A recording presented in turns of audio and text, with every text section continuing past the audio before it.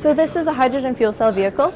Um, so that's special because uh, instead of having carbon dioxide emissions like an internal combustion engine, it just, the only byproduct it creates is water. So it takes hydrogen from a tank and oxygen from the air.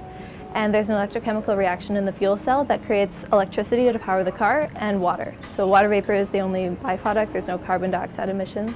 Well, the design phase started about a year and a half ago, so about 18 months. Um, this car we've been building since about September.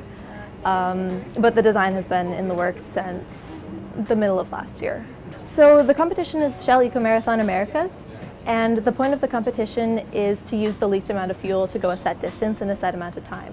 So uh, we, we use a certain amount of hydrogen, and we want to be able to travel that distance using the least amount of hydrogen. So we've built our car to be as efficient as possible. So it doesn't go very fast, only really like 30, 35 kilometers an hour, but it's very efficient. We tried to make it really light, so we used carbon fiber to make the shell and a lot of the interior components. Yeah.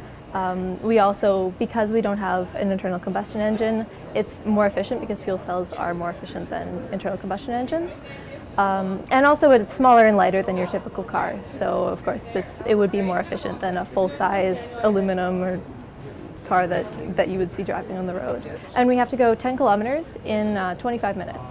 So EcoCar is really exceptional to compared to other project groups and to engineering in general, in that we have a really high number of female members, and I think um, there's a lot of reasons why that's the case. I think uh, we do a lot of outreach, and we don't tailor our outreach just to male students or anything. We make sure to include everyone in, in who we're trying to um, do, in, in, who we're trying to recruit.